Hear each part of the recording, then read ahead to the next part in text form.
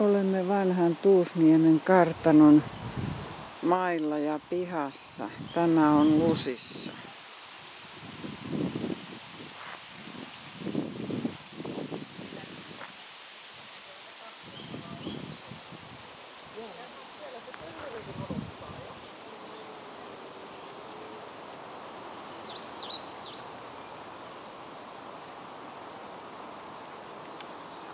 Vaikka Veesi Tynnyri ei ole paljon vielä käy.